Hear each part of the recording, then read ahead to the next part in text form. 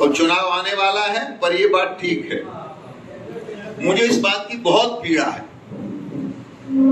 आप सबको पता है कि सैफई परिवार से मेरे बहुत निकट के संबंध हैं। मुलायम सिंह जी मेरा सम्मान करते हैं, अखिलेश मेरा सम्मान करते हैं। और शायद आपको ये भी पता होगा, एक बार पार्टी से नाराज़ होकर के माननीय कल्याण सिंह जी सपा के साथ रहे। राजू भैया, उनके यहाँ स्वास्थ्य मंत्री रहे। लेकिन मुझे लगता है विनाश काले विपरीत बुद्धि। माननीय कल्याण सिंह को श्रद्धा सुमन अर्पित करने के लिए समाजवादी पार्टी के अखिलेश, क्या हो गया? आने वाले चुनाव में सौगंध खा लीजिए। जाति दामत बह जाइए। ये क्षण कभी कभी आया करते हैं। बहन मायावती से उनको गुण नहीं मिला करते थे। जब छह छह महीने की सरकार में बीच में था, उन्हें स्वीकार नहीं था। पर पार्टी का निर्णय था, माना था।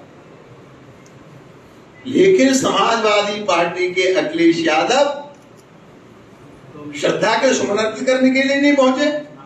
और वो तब, जब बाबूजी सदा के लिए धरती से विदा हो गए। केवल इसलिए एक जात विशेष के लोग नाराज़ न हो जाएँ।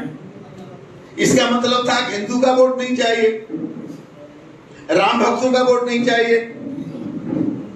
जिनके लिए उनके पिता ने अयोध्या में राम भक्त पर गोलियाँ चलवाई थी, उन्हीं का चाहिए। ये राजनीति कहाँ से कहाँ तक पहुँच गई है? ये तो राम का देश है, कृष्ण का देश है। इसलिए हम सबका सब समावेशी समावेशी राष्ट्र ये। नहीं तो अफ़गानिस्तान को देख लीजिए क्या हो रहा है। ये बहुत समझने वाली स्थितियाँ हैं। आप मैं पूरा तो मेरे पास गणित नहीं है पर मुझे थोड़ा थोड़ा याद है कि इस धरती पर अब तक लगभग 40 लाख मुसलमानों का कत्ल हुआ है। कितने का? दस बीस हज़ार आगे पीछे 40 लाख मुसलमानों का कत्ल। और एक भी मुसलमान किसी आरएसएस वाले ने बीजेपी वाले ने नहीं मारा। कलमा पढ़ पढ़ के मारा। उन लोगों ने मारा जो आज अफ़गानिस्तान में मुसलमान को खदेड़ रहे हैं मार रहे हैं भगा रहे हैं। और भारत उनको बुला के ला रहा भारत तो वसुधैव कुटुंबकम भारत वो है, सर्वे हम सुखना सर्वे संत निरामया सर्वे भद्राणी पश्यंतु माँ कश्चित दुखभाग भवे। और भारतीय जनता पार्टी तो एक आत्मानव अंत्योदय। हम लोग इतनी बड़ी पार्टी के विश्व की सबसे बड़ी पार्टी भारतीय जनता पार्टी, उसके हम लोग सदस्य हैं। मुझसे बड़ा सौभाग्यशाली कौन होगा?